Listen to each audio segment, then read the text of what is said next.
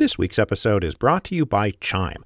It's a new year, which means it's time to leave behind the things that don't serve you, like overdraft fees. When your checking account balance is running low, the last thing you need is an overdraft fee. But with Chime, an award winning app and debit card, you can save that hard earned paper without paying overdraft fees.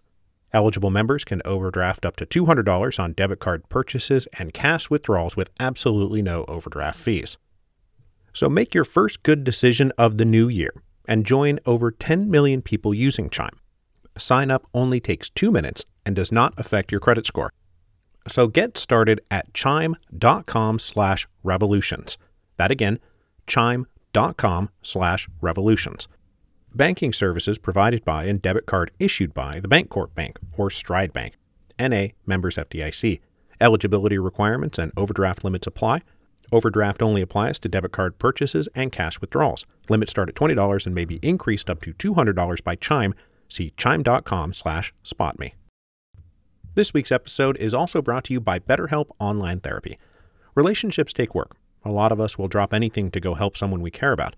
We'll go out of our way to treat other people well. But how often do we give ourselves the same treatment? This month, BetterHelp Online Therapy wants to remind you to take care of your most important relationship, the one you have with yourself.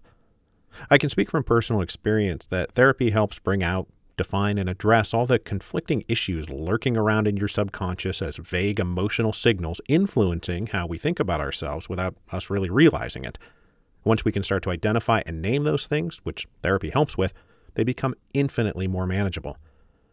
So, BetterHelp is an online therapy that offers video, phone, and even live chat sessions with your therapist. So, you don't have to see anyone on camera if you don't want to. It's much more affordable than in person therapy, and you can be matched with a therapist in under 24 hours. Give it a try and see why over 2 million people have used BetterHelp online therapy. This podcast is sponsored by BetterHelp, and Revolutions listeners get 10% off their first month at betterhelp.com slash revolutions. That's B-E-T-T-E-R-H-E-L-P dot com slash revolutions.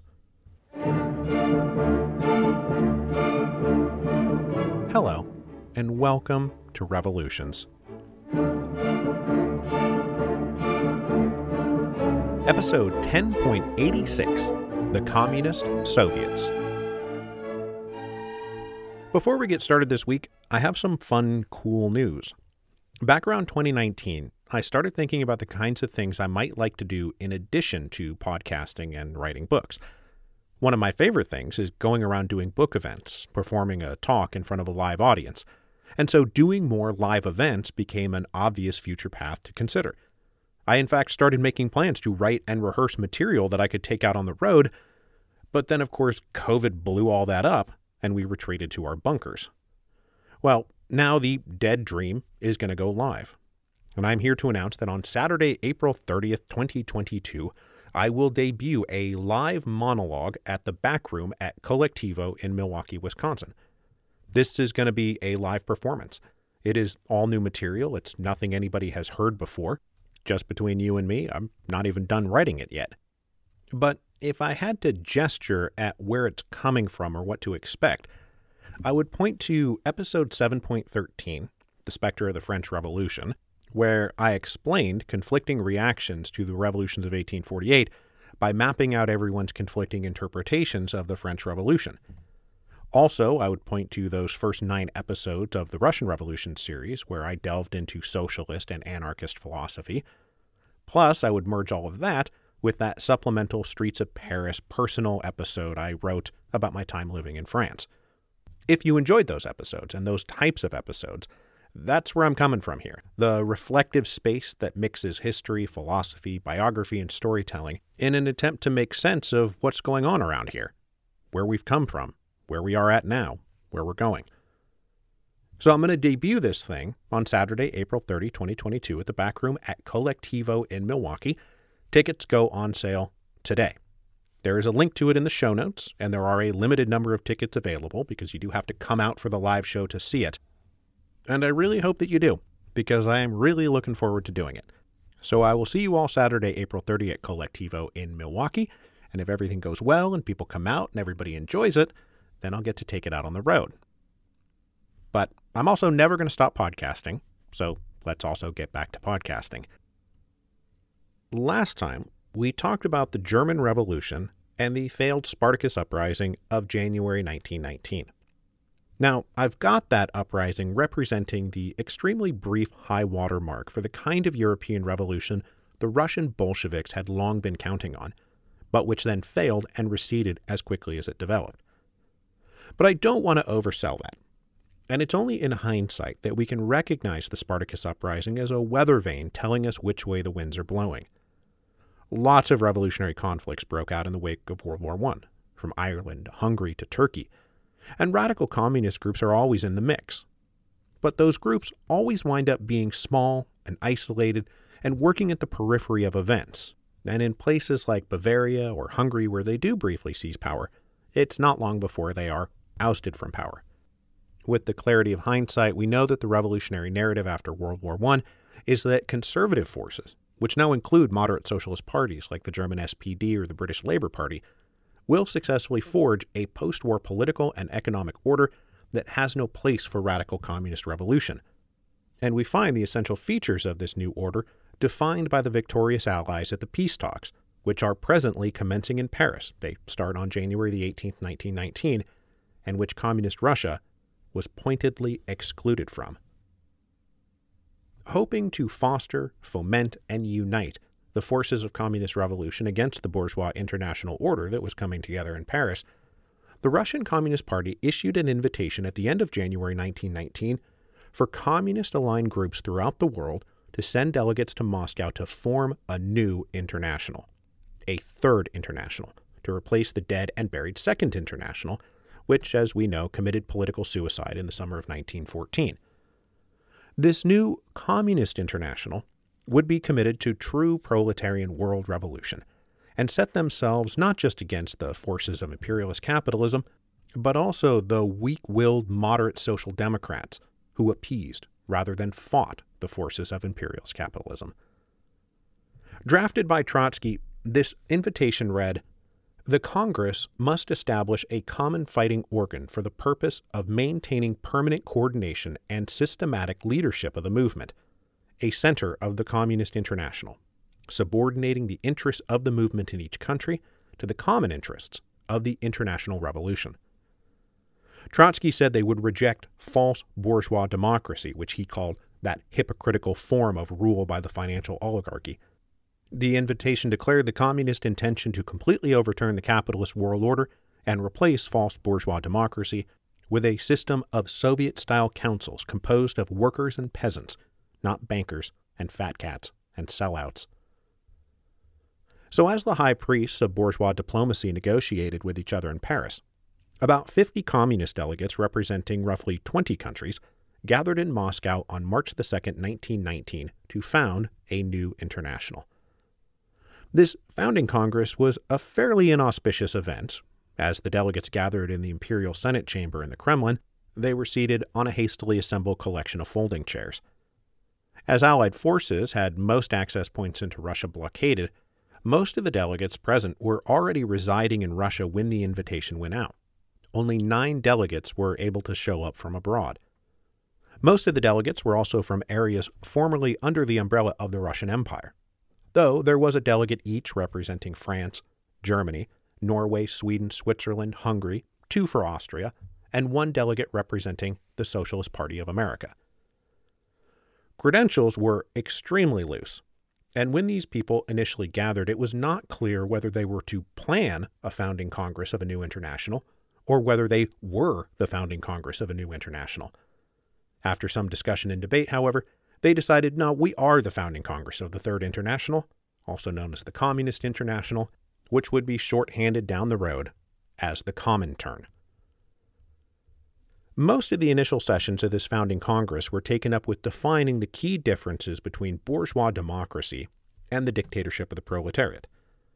Addressing the Congress on March 6, Trotsky said the principal task confronting them was to prevent toiling mankind to become the bond slaves of victorious world cliques who, under the firm name of the League of Nations and aided by an international army and an international navy, will here plunder and strangle some peoples and there cast crumbs to others, while everywhere and always shackling the proletariat. Instead, he said, the proletariat of the world must fight to erect their own system, built on the principle of worker Soviets. He said, This irreplaceable organization of working class self rule, this organization of its struggle for, and later of its conquest of, state power. Through the medium of Soviets, the working class can save itself from decomposition, come to power most surely and easily in all countries where the Soviets are able to rally the majority of the toilers, exercise its sway over all spheres of the country's economic and cultural life, as is the case at present in Russia. After declaring themselves to be the new Communist International, the delegates formed a standing executive committee chaired by Grigory Zinoviev to supervise the arduous task of exporting true communist revolution throughout the world. But while Trotsky's language at the founding of the Comintern was a panegyric to the Soviets, it was not at all clear that what he described was actually the case at present in Russia. By early 1919, there was a great deal of grumbling among both the Russian workers and the Russian peasants that the locally empowered Soviets that they had come together to form in 1917 were being co opted by Communist Party officials, acting not in the interests of the workers and the peasants, but in the interests of themselves. In fact, while the founding Congress of the Comintern met in Moscow to plan how to export the Soviet system abroad, peasants in the Volga region rose up in the first major popular rebellion against the Soviet regime at home. Now, the Volga River had been on the front lines of the Civil War all through 1918, and in the spring of 1919, the local communist officials and Red Army leaders prepared for an invasion through the Ural Mountains by the military forces which had coalesced in western Siberia under Admiral Kolchak. With this attack looming, communist leaders and Red Army officers put the local population in the Volga region under enormous pressure to produce food, supplies, and soldiers. Armed detachments fanned out to expropriate grain to feed the army and to conscript eligible young men to fight in the army. Whenever these armed detachments came into a village, resistance to their demands were met with a mostly unsupervised campaign of threats, abuses, torture, execution, and rape. This, of course, infuriated the local population. On March 3, 1919, a squad of Red soldiers tried to requisition more grain than was even stipulated in their orders from a small town in the province of Samara. The enraged population mobbed the soldiers, disarmed them, and deposed the local communist representatives. When additional soldiers were sent in to bring these peasants to heel, they promptly mutinied and shot their own officers rather than attack the peasants, because they were mostly conscripted peasants themselves and they were entirely sympathetic to the angry people. From this initial spark, flames of popular revolt fanned out across the Volga Basin, and this all became known as the Chapan Rebellion, after the sheepskin winter coats worn by the local peasants. Their collective demands were simple. They wanted an end to forced food requisitioning, forced conscription, and abuses by communist commissars issuing authoritarian directives. Far from opposing the Soviet regime, they actually sought to restore the kind of free elections to the local Soviets that had prevailed in 1917, but which had been steadily eroded and co opted by the centralizing instincts of the communists throughout 1918. In many cases, the rallying cry was Soviets without communists. After a week and a half of spontaneously spreading insurrections, a huge portion of the Volga around Samara and Simbirsk were in a state of acute anti communist insurrection. And this was just as Admiral Kolchak's white armies were launching their attack aimed at precisely this location. The spring offensive of the White Armies under Kolchak was not a little thing. Their military forces in Siberia had grown to number some 100,000 men by the spring of 1919. And that sounds like a lot, and it was, but they were also spread out over thousands of miles of territory. And as with the Red Army, their numbers were enlarged by forced conscription, which does not always produce the most reliable, committed soldiers. But still, in March 1919, they were a formidable army especially because the British were dumping insane amounts of munitions at Vladivostok and then shipping it along the Trans Siberian Railroad.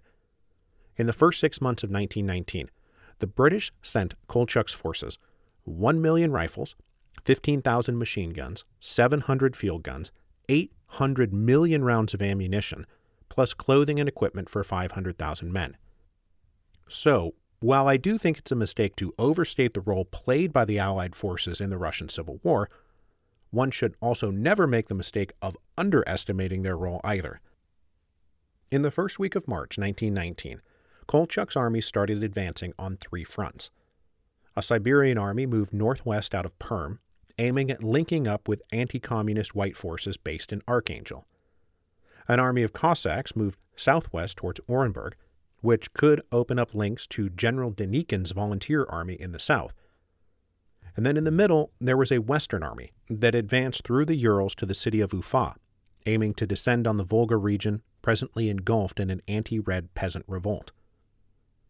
The initial offensive, launched in the first week of March, was almost uniformly successful, and these white armies advanced the front lines 200 miles west without breaking a sweat.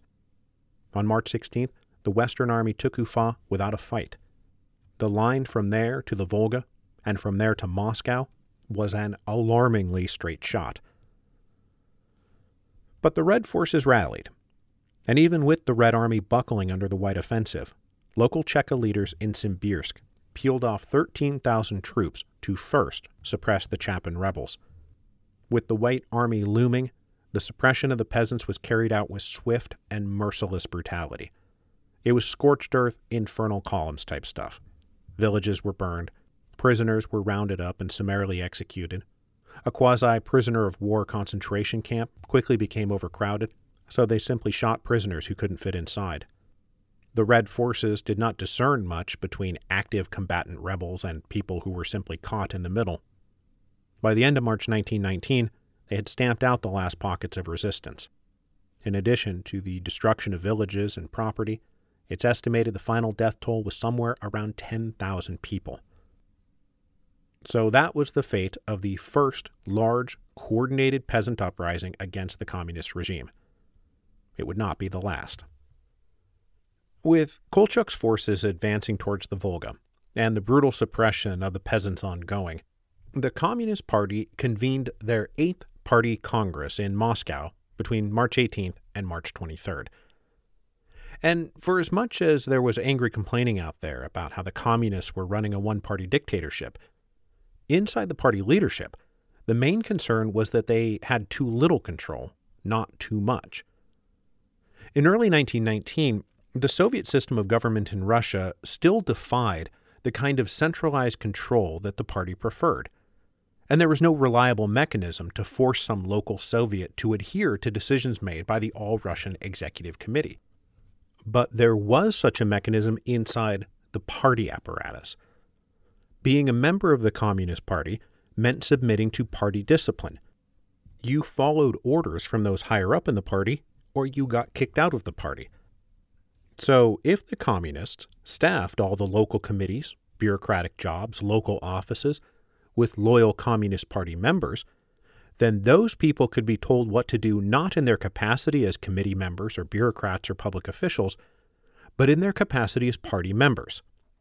The way to get a local Soviet to align its policy to the National Soviet was to tell the Communist Party members in that local Soviet it is your job to align the local Soviet with the National Soviet.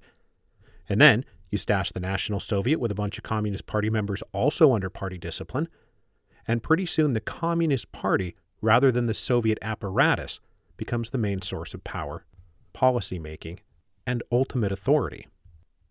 So it was here around the Eighth Party Congress that the Communists started to reorient how they went about their business. To guide the party, they created a couple of very important new committees designed specifically to make quicker decisions than the large and somewhat cumbersome Central Committee could. These were known as the Political Bureau and the Organizational Bureau, or as they are better known, the Politburo and the Org Bureau. The Politburo would decide policy, and the Org Bureau would be in charge of distributing the human resources necessary to carry out the policies as decided by the Politburo. The new Politburo would have just five voting members Lenin, Trotsky, Stalin, Kamenev, and a guy called Nikolai Krestinsky. As political centralization and the implementation of state policy started to run increasingly through the party machine rather than the official public state apparatus, the Politburo became an enormously important seat of power. Because in addition to abstract policy making, they also had power over public appointments, promotions, advancements, who would be hired, who would be fired. The power of patronage now wielded by members of the Politburo and the Orgbureau would give senior members of the party enormous amounts of influence and personal power. Client patron networks started growing up inside the party underneath people like Trotsky or Zinoviev, who regularly appointed people because they were loyal allies, who could be trusted not to stab their political patron in the back. Stalin, of course, became the master of this, and the first to truly recognize that being the one to control the organizational chart of the Communist Party was the key to ultimate power in Russia. Because of all this, the very nature of the Communist Party started to change. Now, ever since the October Revolution, membership in the Communist Party had always come with perks and privileges. In Lenin's opinion, those who worked tirelessly round the clock on behalf of the revolution deserved a few perks and privileges. But over the course of 1918, and then really starting in 1919, the character of the business started to change. Before the revolution, joining the Bolsheviks meant voluntarily joining an utterly fringe party of fanatics tilting at revolutionary windmills. You had to believe in what they were doing and want what they wanted. The Bolshevik Party before October 1917 was not a magnet for careerists and social climbers and self interested opportunists. But after more than a year in power, and with the Communist Party itself now taking on larger importance. That's exactly what it became. Party membership meant access to food and better lodgings in a time of acute scarcity and hardship. If you were a party member, you got higher salaries, special rations, subsidized or free housing in hotels and apartments, access to exclusive shops, doctors, and railroad cars. The Communist Party had soon accumulated all the standard issue trappings of any elite ruling class and because of this, they now attracted the kind of people who were interested in those trappings, not the idealistic political ambitions of the true believers. And of course, with all this elevated status and perks and privileges came opportunities for graft and corruption. Bribery, theft, embezzlement, misallocation of funds, sale of public property for private gain, requisition of goods for personal gain became endemic within the party. Party officials, for example, became the clearinghouse for the ever growing black market. Whatever they had better or more exclusive access to tobacco, alcohol, fuel, housing went up for sale on the black market.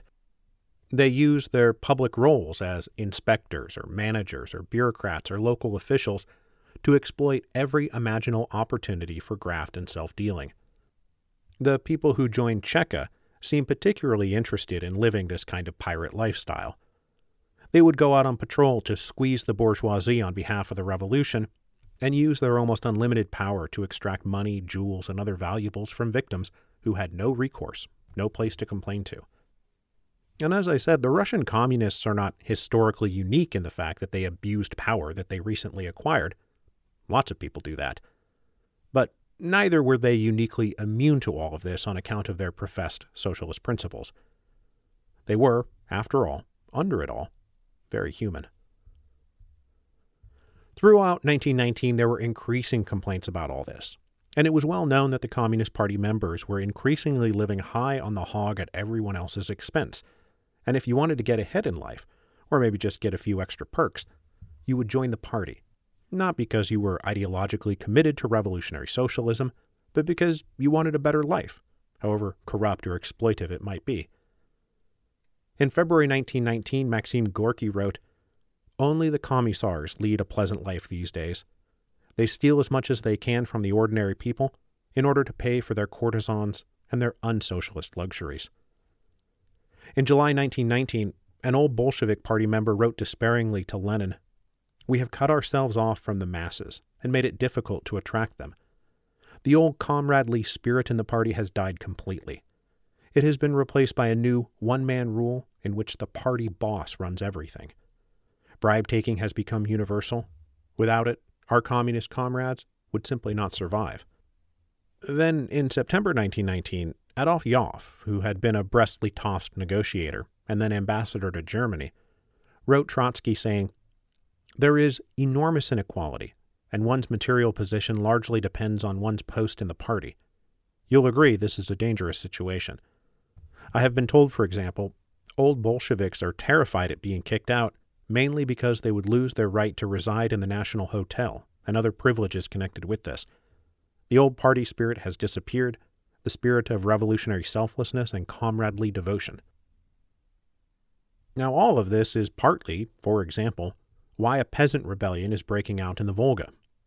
For all the lofty claims about the superior freedoms of the Soviet Republic issued at the founding Congress of the Comintern, many people in Russia and the adjacent nationalities did not see the Communist Party as apostles of liberty, equality, or socialism, but as gangsters from a mafia. Communist Party officials were officially in the business of eradicating economic exploitation and spreading universal brotherhood, but unofficially, they seemed to be in the business of seizing whatever they could lay their hands on at bayonet point and then reselling it for a tidy profit on the black market. So you can obviously see where this is all headed. Admiral Kolchak's white armies, coming over from Siberia, are now going to be seen as the great liberators from the mean old red communists, who said they were cool, but who turned out to be exploitive jerks. The local peasantry who had just risen up against the communists will now obviously join the white armies in droves. Their forces will grow exponentially, and they will easily roll on to Moscow and Petrograd. But, haha, that's not really what's going to happen because the communists were not unique at all in anything they were doing. And frankly, Kolchak's government, if it could even be called that, was even worse. The city of Omsk, where he made his headquarters, was an absolute hotbed of corruption and vice. Everyone in town was guzzling vodka and snorting cocaine. Prostitution was rampant. Gambling was everyone's favorite pastime. All those supplies that were being shipped in by the British they were gathered up by well connected officials in the Kolchak regime and resold on the black market. Cigarettes, uniforms, boots, food, coats, whatever. This was up to and including selling things on the black market to buyers representing the Red Army. General Knox, the senior British military official attached to Kolchak, was jokingly referred to as the quartermaster general of the Red Army. And at one point, Trotsky sent a note to Knox teasingly thanking him for helping equip the Red Army. In the coming battles, many Red Army soldiers marched out wearing British manufactured uniforms. Now, beyond the corrupt greed of the people in Omsk, the white forces made themselves hated wherever they went. Everything I've just said about Red Army abuses applies just as much to the White Armies. Their armies were also built on forced conscription at gunpoint or bayonet point, with their supply lines being so long, they too had to requisition food from the locals. They too used abuse, torture, and executions to extract food, supplies, and anything else they could carry off. When people resisted, villages were burned and people were shot. On market days, White Army cavalrymen would come around and conscript young men into the army. Many of these conscripted soldiers promptly deserted as quickly as they could, taking with them even more uniforms and equipment and weaponry over to the side of the Reds. So, in all those respects, the abuse of the peasantry basically, white or red, it was all the same. But in the final analysis, the Reds still wound up looking like the lesser of two evils. This was because Kolchak's forces were viewed fundamentally as restorationist in their aims. Because even if they weren't fighting for the Romanovs or anything like that, they absolutely refused to recognize the revolution in land that had taken place since 1917. So wherever white armies went, officers and officials tried to reinstate the old economic order, and especially west of the Ural Mountains, they threatened to take away the land that had been taken over by villages and give it back to the previous owners. And so, for as much as the local peasantry didn't like the red commissars, they were still preferable to the whites. And all throughout the areas where Kolchak's white armies were nominally in control, especially across Siberia from the Ural Mountains all the way to the Pacific, they dealt with peasant uprisings and all manner of resistance. This especially took the form of attacks on their supply lines by guerrilla units. The whites responded with more indiscriminate violence, more village burning, more summary executions, and as so often happens in guerrilla wars of this type, It was very difficult for the whites to tell the difference between active fighters and mere civilians, and so people were just sort of killed at random, which made the whites even more unpopular. So, theoretically, I think there was an opening in 1919 for the whites to come in and offer themselves as like a less brutal and less corrupt alternative to the red communists. But instead, they turned out to be equally as brutal and corrupt, and then added a cherry on top, which was they were going to take the land away from the peasants and give it back to the old gentry. There's a reason Kolchak is going to go nowhere and achieve nothing politically. Because, at least with the communists, all the abuse and corruption came with the vague promise that it was all leading to a better future. Whereas with Kolchak and his gang, the abuses went along with nothing more than a promise to restore a despised past. So in late April 1919, just as everything seemed to be going wrong for the Reds between these peasant uprisings and Kolchak's offensive, they regrouped and launched a very successful counteroffensive. In the south, superior Red Army forces crushed the Cossacks near Orenburg which opened up the overextended middle of Kolchak's forces to a flanking movement up into their underbelly. On April 25th, the Supreme High Command of the Red Army ordered a general advance that progressed through May, and Kolchak's forces were forced to fall back and fall back again. On June 9th, the Reds retook Ufa, and on June 13th, Kolchak admitted defeat and ordered a general retreat. This included his army in the northwest that had so far faced very little resistance and had made contact with potential allies coming out of Archangel, and in fact they seemed poised to threaten Petrograd. But they too had to pull back because their supply and communication lines were now exposed. The Reds proceeded to advance across the Urals, and Kolchak's demoralized forces, most of whom had never wanted to fight for him in the first place, deserted in droves. He was soon down from a high of a 100,000 soldiers to just 15,000. This was all the result not so much of military mistakes per se, as political ineptitude and an inability to properly distinguish himself in any positive way from what the Reds were offering. Kolchak's failed spring offensive represents the first of three failed offensives by the Whites in 1919. And next week, we're going to move on to the second of these, a summer offensive by General Denikin from southern Russia and Ukraine. One of the big reasons the whites wind up losing the Civil War, and spoiler alert, obviously, the whites are going to lose the Civil War, it's because they couldn't coordinate their actions.